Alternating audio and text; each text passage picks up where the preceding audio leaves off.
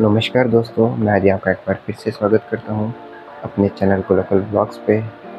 और आज हम जा रहे हैं गोकर्णा, जो कि कर्नाटका में स्थित एक बहुत ही प्रसिद्ध मंदिर है और जिसकी एक बहुत ही सुंदर कहानी भी है, कथा भी आप कह सकते हैं। इसके बारे में आपको मैं आगे वीडियो में बताऊँगा। और अभी हम गोवा से निकले हैं सुबह के सवा चार बजे, गोकर्णा की और जो कि कर्नाटका में पड़ता है। और इस समय गाड़ी चला रहे हैं हमारे राहुल भाई, जो कि उत्तराखंड से हैं। वो भी पहाड़ से हैं, हम भी पहाड़ से हैं। मतलब जो भी सब जा रहे हैं, सब पहाड़ से ही हैं। और जैसा कि आप देख सकते हैं, बहुत ही अंधेरा है, सवा चार बजे। और अंधेरे में गाड़ी चलाना बहुत मुश्किल का काम भी होता है। पर राहुल भाई, जैसे कि मैंने उत्तराखंड से हैं, पहाड़ में गाड़ी चलाते हैं तो ये एक्सपर्ट हैं। तो ये नहीं हम अपने साथ लाए हैं गाड़ी चलाने के लिए। और अब हम आगे जाके तेल भराएँगे और तेल भरा के फिर आगे की जर्नी शुरू करेंगे। ये देखिए पेट्रोल पंप पे हम पहुँच गए हैं। और ये आगे की जर्नी हमने शुरू कर दी है। सुबह भी हो गया अब तो। और देख सकते हैं आप हाईवे पे कितना अच्छा रास्ता है और कितना अच्छा व्यू हमें देखने को मिल रहा है। बहुत ही अच्छे कोकोनट के पेड़ हैं हाईवे पे पूरा साफ़ सब कुछ। तो दोस्तों, जैसा कि आप सभी देख सकते हैं, हमारी गाड़ी के, एक टायर की हवा कम हो गई थी तो हम गाड़ी का टायर चेंज कर रहे हैं। और गाड़ी का टायर चेंज करके हम आगे की ओर निकलेंगे, अपनी जर्नी की ओर गो करना की ओर। देखिए, अब टायर चेंज करके हम निकल चुके हैं आगे के लिए। जैसा कि आप देख सकते हैं, बहुत ही अच्छा जो रोड है यहाँ का कोकोनट ट्रीज देखने को मिलेंगे आपको बहुत कुछ। एक, जैसे कि आप ऐसा लग रहा है कि हम पहाड़ों की ओर जा रहे हैं बट साउथ और नॉर्थ की यही एक बात है। आपको नॉर्थ में कोकोनट ट्रीज देखने को नहीं मिलेंगे और साथ में आपको सब जगह पे बहुत ही सारे कोकोनट ट्रीज देखने को मिलेंगे। और यहाँ की लैंग्वेज और यहाँ की जो रिटर्न भाषा भी है, वो भी बहुत डिफरेंट है, जो कि हमको पढ़ने में बहुत मुश्किल होती है। इसलिए एक दोस्त हमारा कर्नाटका से भी है, जो कि हमारे साथ जा रहा है, ताकि हमें वहाँ पे भाषा का कोई प्रॉब्लम ना आए। आप देख सकते हैं कितना अच्छा व्यू है, साथ में समुद्र भी बह रहा है, सड़क के साथ साथ और आसमान भी काफ़ी अच्छा है। अभी बरसात का मौसम है तो अगर आप बरसात के मौसम में गोकर्णा जा रहे हैं या साउथ की ओर जा रहे हैं तो थोड़ा सावधानी बरतें। क्योंकि उस समय पे लैंडस्लाइड भी बहुत ज़्यादा होते हैं और जिससे कि आप की गाड़ी को नुकसान भी हो सकता है। तो अगर आप फैमिली के साथ आ रहे हैं, अकेले आ रहे हैं टू व्हीलर पर जा रहे हैं, जैसे भी जा रहे हैं, पूरी सुरक्षा के साथ जाएँ, ताकि आपको और आपकी फैमिली को कुछ ना हो और आप अच्छे से दर्शन करके घर वापस लग सकें। रास्ता आप देख सकते हैं कितना अच्छा है। और ये देखिए, आगे आपको टनल देखने को मिल रही होगी। साउथ में मैंने टनल देखी नहीं है बट देख रहे हैं आप, कैसी टनल है। और ये टनल है, बिल्कुल मेरे को कुछ सिमिलर लग रही है, जैसे हम मनाली की ओर जाते हैं ना तो कुल्लू में ओट में देखने को मिलती है सिमिलर ऐसी टनल। वो भी सेम वैसी है, ऐसा लगता है जैसे पूरा पहाड़ खुद के अंदर से क्रेविंग की गई है। सिमिलर वैसी ये टनल लग रही है। और बहुत ही मज़ा आ रहा है यू नो इस राइड पे।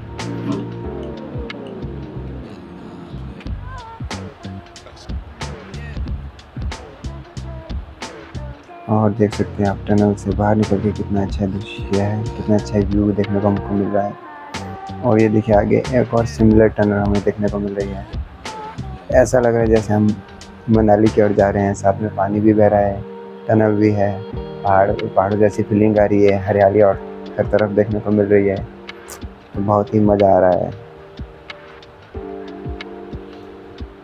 और गोवा से हम जैसे गोकर्णा की ओर जाएँगे तो हमें लगेगा तीन से चार घंटे का टाइम डिपेंड करता है कि आप कैसी ड्राइविंग करते हैं, किस स्पीड पे करते हैं। और गूगल मैप के हिसाब से तीन घंटा बीस मिनट के अराउंड आपको टाइम लगेगा। पर बाकी डिपेंड करता है कि आगे आपको रास्ता कैसे मिलता है। अगर कहीं ट्रैफ़िक है तो आप लेट हो सकते हैं, कहीं लैंडस्लाइड हुआ है तो वो आप लेट हो सकते हैं। इसलिए अकॉर्डिंग टू माय ओपिनियन तीन से चार घंटे, जैसे हमारे बीच में टायर की हवा भी कम हो गई थी तो टायर भी चेंज किया तो उस अकॉर्डिंग थोड़ा रुकेंगे भी आप, थोड़ा खाना भी खाएँगे रिफ्रेश होंगे थोड़ा। चार घंटे तक का टाइम आपको यहाँ लगेगा गोवर्ना पहुँचने के लिए। और ये देखिए, हमने हाईवे से अब अंदर गाँव की ओर ले लिया है। एक्चुअल में गोकर्णा एक गाँव ही है और जो आपको ये सामने पानी दिख रहा है, इसमें होती है नमक की खेती। जी हाँ सही इसमें अपने कर्नाटका के इस एरिया में होती है नमक की खेती। आजकल बरसात में ज़्यादा पानी होने के कारण यहाँ आपको सिर्फ़ अभी पानी देखने को मिल रहा है।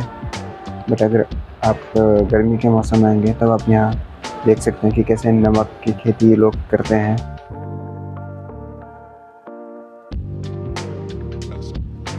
तो फाइनली अब हम पहुँच गए हैं गोकर्णा में। ये देखिए, हमने गाड़ी पार्किंग पे लगा दिया और अब हम आगे जा रहे हैं मंदिर की ओर। यहाँ पे आपको साथ में साइड में समुद्र भी देखने को मिलेगा, जहाँ पे अभी मानसून के टाइम पे बारिश ज़्यादा होती है तो वाटर लेवल बढ़ जाता है तो आपको पानी के अंदर जाने की अनुमति नहीं होगी। ये आप देख सकते हैं थोड़ा म्यूज़िक से कि कैसा दिखता है समुद्र। फ़िलहाल यहाँ पे एंट्री बंद की गई है, क्योंकि आजकल मानसून का टाइम है तो वाटर लेवल हाई है और यहाँ झंडा भी लगा रखा है, देखिए। और ये अभी फ़ोटो शूट कर रहे हैं राहुल भाई और बाकी सब भी। और ये मार्केट में हम पहुँच गए हैं। देख सकते हैं आप। जैसे यहाँ पे मार्केट है, खड़े मसाले वगैरह आपको काफ़ी देखने को मिलेंगे यहाँ पे। और यहाँ से आप शॉपिंग भी कर सकते हैं, लुंगी वगैरह ले सकते हैं, साड़ी ले सकते हैं। अपनी मम्मी के लिए, बहन के लिए, किसी के लिए वाइफ के लिए। और अभी हम जा रहे हैं मंदिर की और रास्ते में है। गाड़ी पार्किंग में लगा दी है। ये देखिए यहाँ की मार्केट कन्नड़ में सब कुछ लिखा है यहाँ पे। पढ़ पाना थोड़ा, मुश्किल हमारे लिए और ये देखिए, यहाँ पे लिखा है टॉयलेट एंड बाथ कॉम्प्लेक्स यहाँ पे आप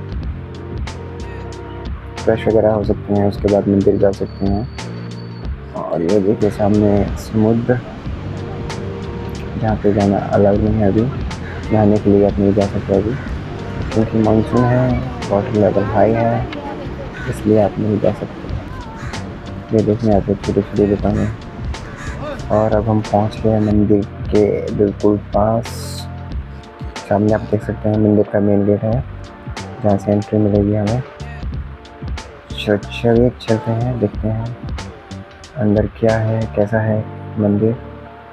कैमरा अंदर मेन मंदिर में अलाउड नहीं होगा तो जितना हम रिकॉर्ड कर पाएँगे, करके आपको दिखा देंगे, ताकि आप अगर कर्नाटक आते हैं तो एक बार वो करना ज़रूर आइए। काफ़ी एक धार्मिक और प्रसिद्ध स्थल है ये। और चलिए चलते हैं अंदर, देखते हैं क्या है। हाथ मुँह धो के थोड़ा हम चलेंगे अंदर की ओर।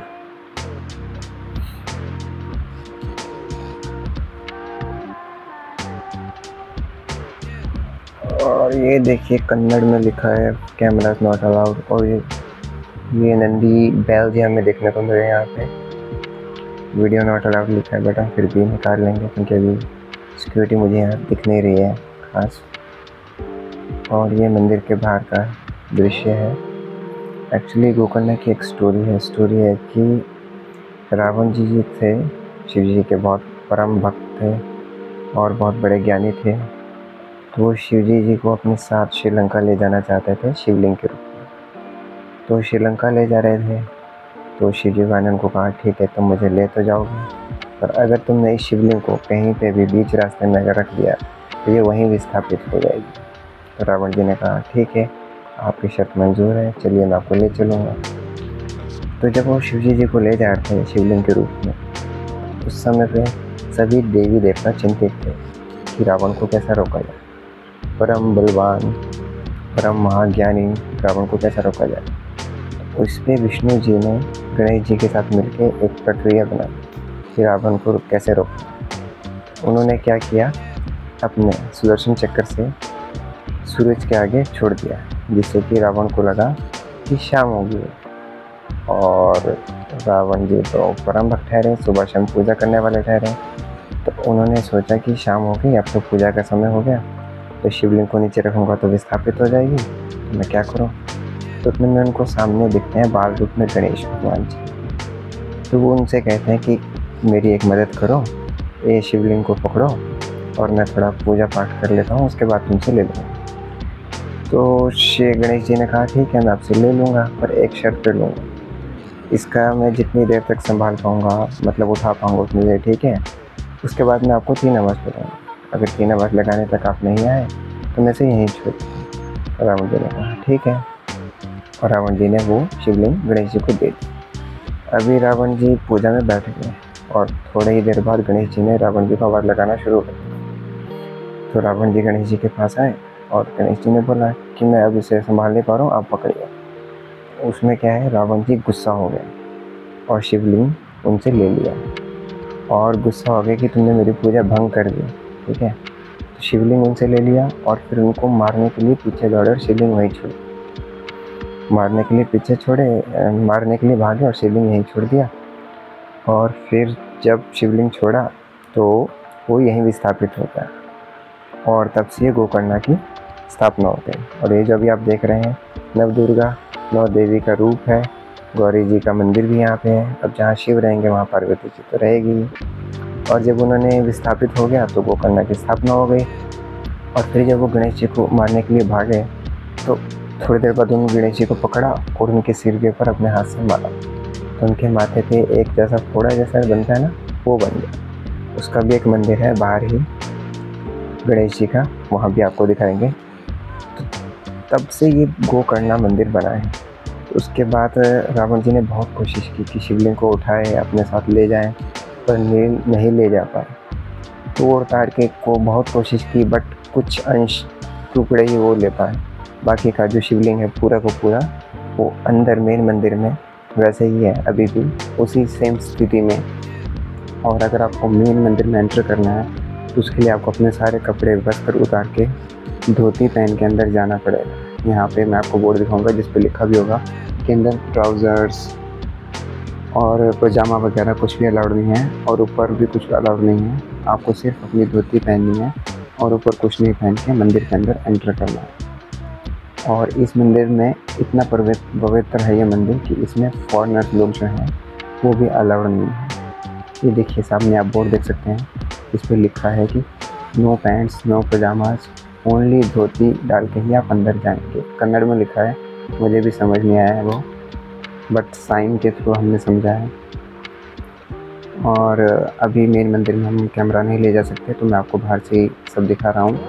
ये देखिए शिव जी की एक और एक शिवलिंग सेकेंड। हम्म, यहाँ पे स्थापित है। जय शिव शंभु। थोड़ा तिलक लगा के आगे चलेंगे बढ़ेंगे आगे की ओर। और मंदिर की एक टाइमिंग भी है सुबह आठ बजे से दिन के दो बजे तक और शाम को फिर पाँच बजे से रात के आठ या नौ बजे तक जो भी एक टाइमिंग इस मंदिर की पवित्रता को बनाए रखने के लिए ये यहाँ पे बनाया गया है कि अंदर आपको नो कैमरा अलाउड और दूसरी बात, सिर्फ़ लुंगी पहन के ही आपको अंदर जाना है मतलब धोती पहन के। बाकी किसी भी वस्त्र में आप मंदिर में एंटर नहीं कर सकते। और देखिए, बोर्ड पे भी लिखा है foreigners are not allowed in this temple और बाकी कन्नड़ में लिखा है, वो तो हमें समझ नहीं आएगा। और यहाँ पे एक और चीज़ मैंने देखी कि जितने भी यहाँ के मंदिर हैं, वहाँ पे अगर आपको कैश नहीं लेना है, पंडित को ब्राइब नहीं करना है, पूजा अंदर करने के लिए तो आप QR कोड स्कैन करके भी यहाँ पे मंदिर में दान दक्षिणा कर सकते हैं। जो एक बहुत ही डिजिटल तरीका है। और अब हम बाहर आ गए हैं। ये वो मंदिर है। अभी फ़िलहाल बंद है। यहाँ पे गणेश जी की सेम स्थिति में जब रावण जिन्होंने मारा था सेम स्थिति में अंदर प्रतिमा है।